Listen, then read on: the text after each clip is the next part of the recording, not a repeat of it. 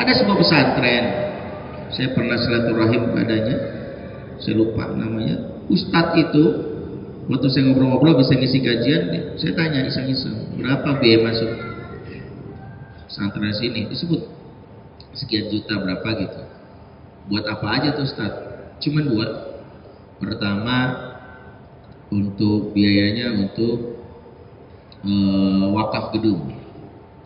Ya jadi supaya orang tua berkontribusi jadi mewakafkan uangnya untuk gedung di sini untuk nanti untuk umat. Jadi kalau sekolah dibubar tetap dipakai untuk umat.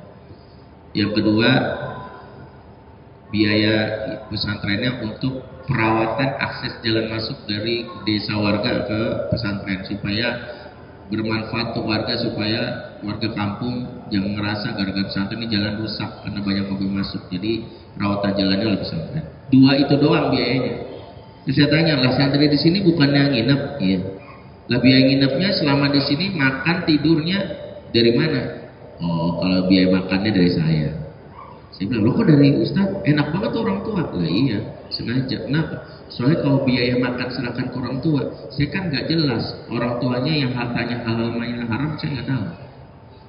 Kalau misalnya anak Ustadz masuk sekolah sini, kalau Ustadz kan insya Allah hartanya halal, maka anaknya jadi Ustadz lagi. Tapi kalau koruptor, kan ada koruptor seburu-buru koruptor kan pengen anaknya soleh juga. Pesantrenin di sini. Tapi uangnya uang haram. Tuh anak akhirnya jadi biang kerok di sini.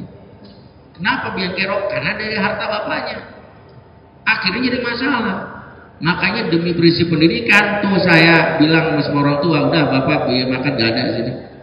Tapi anak bapak deh saya, saya punya ternak ikan, ayam gitu. Saya dibilangin, gampang. Sampai segitunya. Ya nanti ambil aja tuh makanan dari situ. Itu sampai segitunya tuh saya bilang benar juga ya. Makanya berapa kali ada beberapa kepala sekolah mudir pesantren itu kontak saya. Banyak pesantren bermasalah. Ya, bukan berarti 100% enggak, yang bagus juga banyak. Itu sampai bilang gini ke saya, gimana ya Ustaz ya? Kadang kita mikir ya.